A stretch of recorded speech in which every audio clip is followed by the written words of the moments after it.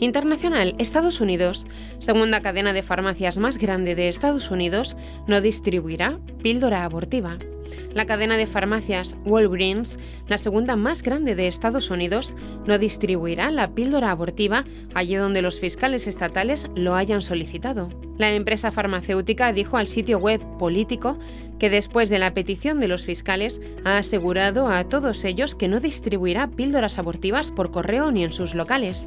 A principios de este mes, 20 fiscales generales de los Estados Unidos, en cuyos estados se restringe el aborto, advirtieron a las cadenas de farmacias CVS y Walgreens que distribuir píldoras abortivas por correo es inseguro e ilegal. El fiscal general de Missouri, Andrew Bailey, quien lidera la coalición, escribió una carta en la que asegura que hará cumplir las leyes tal como están escritas, y eso incluye acatar aquellas que protegen a las mujeres y los niños por nacer. Al fiscal general de Missouri se le unieron los fiscales generales de Alabama, Alaska, Arkansas, Florida, Georgia, Indiana, Iowa, Kentucky y Luisiana.